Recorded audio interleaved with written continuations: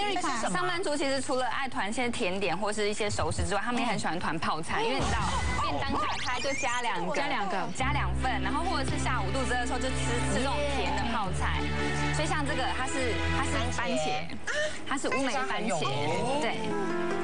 这家的这家的团购也是团到团到很夸张的那种境界，所以它是用乌梅的酱汁去卤的，然后它的每一个番茄有一点酒味，对，它有点是它是酒渍的，酒渍的，然后上面的每一个番茄它都会经过人工方式去剥掉那一层皮，让它应该是圣女番茄吧？嗯，它上面的那个皮都是剥掉的，所以会让那个腌制的味道进到番茄里面，它这样工很多哎，它又不会破坏掉原本这个番茄的营养价值，所以它其实他们家的的泡菜啊，讲求一件事情叫做。冷熟成的处理方式，就是它不不用特别的煮过，像它的所有的菜啊，冷熟成，那就是未成年的概念。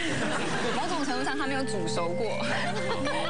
没有像原本的营养很饱，对，它锁住原本的原本的营养价值，然后再添加两样东西。这个泡菜非常好吃啊，因为我们之前就是去朋友家，然后他们就有团购这个，就先倒出来一小盘秒杀哎，然后后来整整盒就直接当就嘴巴把它秒杀，对对，超快就把它吃光。这是什么？什么瓜？黄色的是这个，这个是百香果青木瓜。哦，这是木瓜啊，百香果青木瓜的味道。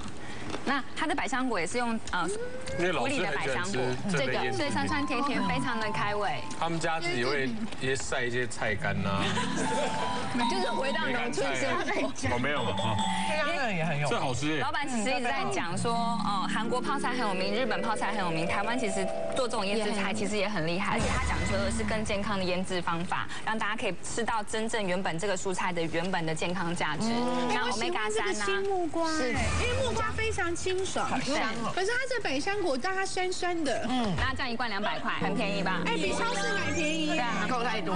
然后有些比较省的上班族，嗯，因为我觉得它的包装，包一个白饭，嗯，弄一个哎，哦，就好好吃哦。我觉得它包装很好，是因为上班族在办公室里面，我们不能用那种袋装的，用这种的话，你吃不完盖起来放冰箱里面继续吃，就很方便。我跟你讲，大家不要同情徐老师，但是我在家常常这样哎，嗯，没有东西吃啊。